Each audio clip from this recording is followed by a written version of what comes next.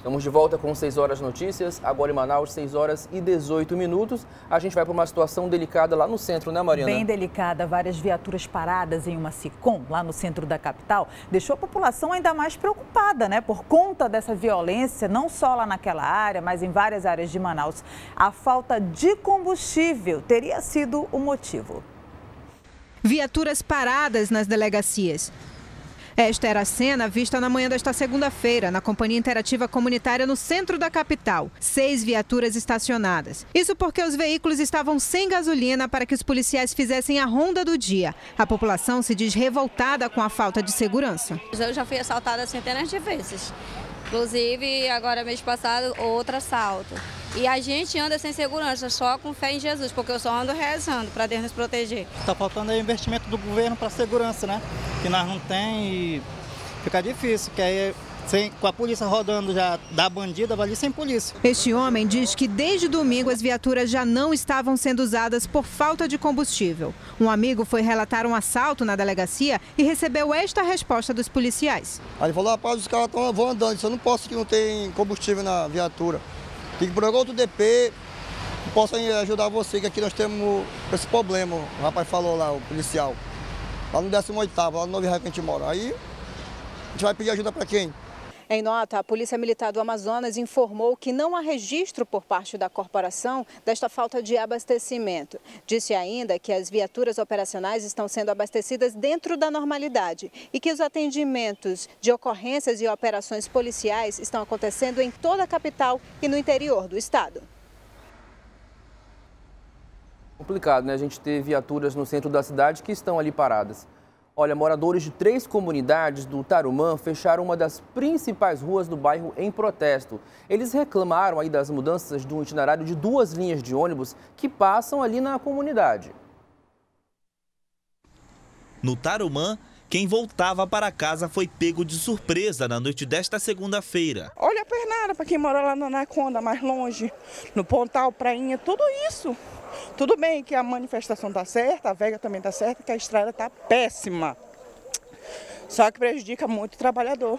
Os ônibus deixaram os passageiros logo na entrada da Avenida da Floresta. Motoristas temiam uma eventual depredação dos coletivos. Enquanto isso, na entrada do ramal da Anaconda, uma manifestação acontecia. No meio da rua. Quem tinha como destino as comunidades Cristo Rei, Parque das Tribos e Cidade das Luzes teve que andar vários quilômetros. Dezenas de famílias foram prejudicadas porque as linhas 005 e 011 pararam de trafegar no ramal devido às más condições da pista, que além dos buracos, também não tem iluminação pública. A SMTU se achou no direito de retirar a linha do ônibus. Assim, o prefeito mandou um famoso tapa-buraco lá nos bairros, mas esqueceu de fazer o ramal. E a linha de ônibus não queria entrar. Estava passando direto, deixando o pessoal aqui e o pessoal vinha lá de dentro, aqui para fora, na pernada, com filho de colo, pessoas de cadeira de roda, certo? Andando, correndo risco de madrugada. Quando um coletivo tentava passar direto pela avenida, era parado pelos manifestantes. Várias pessoas perderam compromissos pela mudança dos itinerários. Uma delas é Dona Indiara, que foi obrigada a interromper o tratamento de uma doença respiratória. Eu sou que eu sou prejudicada, eu sou paciente do tropical, faço tratamento de TB, entendeu? Eu tô com as minhas consultas tudo atrasadas porque os ônibus que antigamente tinham que, que era o 011 e o 012, tiraram, porque o 012 ia pela, aí pela estrada da Ponta Negra e o, ele, o 011 ia ir pela Torquato, né? Então eu, por causa disso, eu fiquei prejudicada. Eu parei meu tratamento. Foram pelo menos duas horas e meia de manifestação. Os moradores só desobstruíram a via depois que um representante de uma das empresas que faz linha aqui na comunidade se comprometeu em manter o itinerário aqui dentro pelo ramal da Anaconda. À noite, os ônibus tornaram a passar pelo ramal.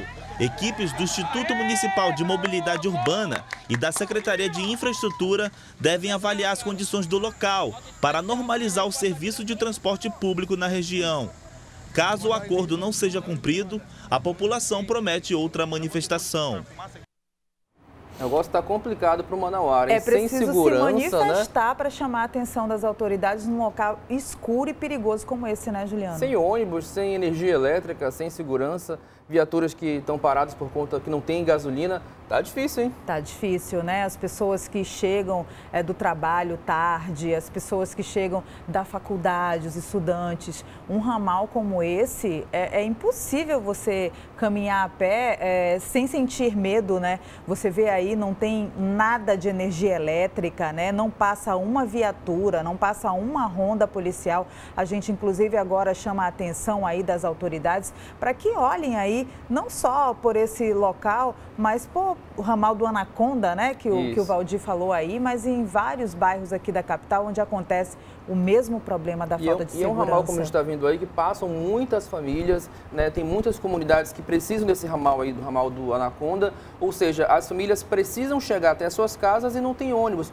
Duas rotas que atendiam a população foram desviadas. Fica aí o apelo dos moradores. A gente viu que não tinha energia aí no ramal do Anaconda e a gente dá uma notícia nada boa. Na tarde de segunda-feira, uma audiência né? pública foi realizada lá na Assembleia Legislativa aqui do Estado para discutir os impactos em que a nova forma de cobrança de ICMS na energia elétrica deve causar aos consumidores. Veja na reportagem.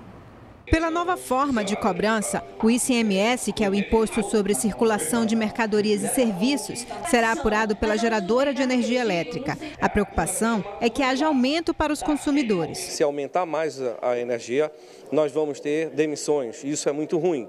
Ou, pelo menos, não vamos contratar, ou grandes empresas não vão vir mais para Manaus, onde nós já, estamos, já temos uma conta pelo menos 50% mais cara do que o Brasil todo. A Secretaria de Fazenda tem razão de estar falando que não mexe na alíquota, mas pode ser que o sistema que vai ser modificado possa trazer outros ajustes nacionais para o estado do Amazonas, onde nós vamos ter aumento dessa energia. Durante a audiência pública realizada aqui na Assembleia Legislativa do Amazonas, a Secretaria de Estado da Fazenda garantiu que não haverá um aumento na conta de energia do consumidor, pois o valor do débito continua com a alíquota de 25%. O representante da Secretaria de Fazenda foi categórico e nos passou uma segurança de que não impacta as contas de energia elétrica do consumidor. Já a Amazonas Energia informou que ainda é muito cedo para afirmar se haverá ou não um aumento nas contas. Isso vai depender de uma análise de cálculos feita pela equipe técnica da empresa. A gente ainda não tem um resultado final das análises, né? Assim que a gente tiver, certamente a gente é, é, poderá divulgar e falar, mas nesse momento ainda não tem a empresa não tem como afirmar haverá ou não haverá aumento na tarifa de energia do consumidor. O deputado Álvaro Campelo, do PP, informou que uma nova audiência pública deve ser feita assim que a análise da empresa seja concluída, para que os consumidores não tenham prejuízo. Esperamos então que não aumente aí, né, a fatura da conta de energia elétrica. Agora uma notícia boa, o prefeito de Manaus anunciou o pagamento da primeira parcela do 13º salário dos servidores públicos municipais. A solenidade aconteceu na tarde desta segunda-feira no auditório da Prefeitura de Manaus. No local, estiveram autoridades como os secretários do governo municipal e os vereadores responsáveis por criar os projetos das novas 11 leis que entraram em vigor. Entre elas, a criação da Semana de Prevenção à Diabetes nas escolas municipais e a prevenção ao suicídio. Na ocasião, o prefeito anunciou o adiantamento da primeira parcela do 13º salário dos servidores municipais. Os servidores ativos na, ativa da prefeitura receberão o décimo, metade do 13º salário, dia 28 de junho, 59 eh, milhões de reais. Os servidores esses mesmos servidores receberão o mês de junho, no, dia, no mesmo dia 28, 124 milhões e 500 mil reais. E o pessoal da Manaus Previdência, o pessoal é, inativo, pensionistas e aposentados, eles receberão 36,9 milhões de, milhões de reais. 36 milhões e 900 mil reais. Ou seja, no total nós jogaremos nas mãos das pessoas para elas mexerem nas suas casas, comprarem o que quiserem, irem ao comércio, saudarem dívidas, o que for, 220 milhões e 400 mil reais. O prefeito falou ainda sobre o bom relacionamento com os vereadores da Câmara Municipal, que proporciona a criação de leis em benefício da população de Manaus. 6 horas e 28 minutos, está terminando o segundo bloco. Está terminando, mas não sai daí que daqui a pouco tem muito mais notícia. Tem a visita do ministro Sérgio Moro aqui em Manaus, tem entrevista, tem prêmios, tem muita coisa boa para você. Até já.